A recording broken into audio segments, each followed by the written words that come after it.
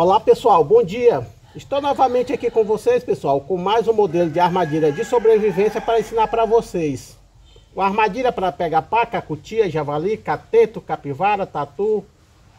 Aqui pessoal, utilizei quatro peças, ó. Um torno com um entalho, uma forquilha pessoal, para travar aqui o gatilho. E aqui o gatilho que está preso com milho para atrair a caça.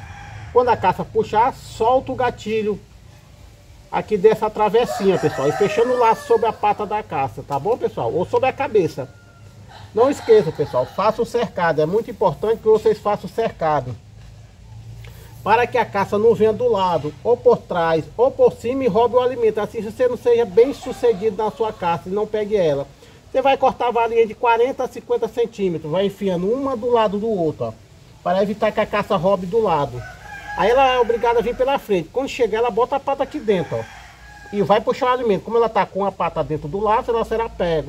Lembrando, pessoal, você vai fazer um laço bem mais largo. Eu estou fazendo bem estreito, que é só demonstração.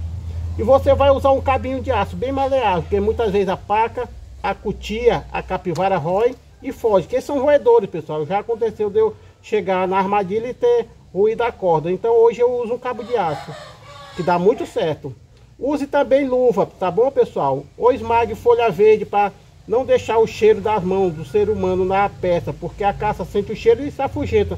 Ela tem medo do ser humano, na hora que sente nosso cheiro, foge. Aí não vem para armadilha. Mas desde já, pessoal, tá aqui a estrutura, já mostrei. Só resta agora mostrar o desarme. Lembrando, pessoal, que essa armadilha é muito boa para diversos tipos de caça, tá bom, pessoal? Você pode utilizar Aqui eu usei milho, mas você pode usar batata, aipim, banana, manga, macaxeira. Agora vamos fazer o desastre, pessoal. A caça vem vindo, ó. Pisou, pessoal. Botou a pata dentro, ó. Puxou, ó. Não escapa, pessoal. Aqui você já teria uma caça para se alimentar. E assim podendo se manter vivo numa selva, numa floresta. Mas como sempre eu gosto, ó, pessoal. Vamos fazer mais um desarme, ó. Encaixa aqui a travessinha, ó. E firma. Firmou, ó, pessoal. É só soltar. O laço está pequeno, pessoal, que é só a demonstração, mas numa real situação de caça você vai fazer um laço bem mais largo. Vamos lá de novo, a caça vem, ó, tem, tem, pisou, puxou, já era, pessoal. Quanto mais ela se debater, mais pega ela vai ficar.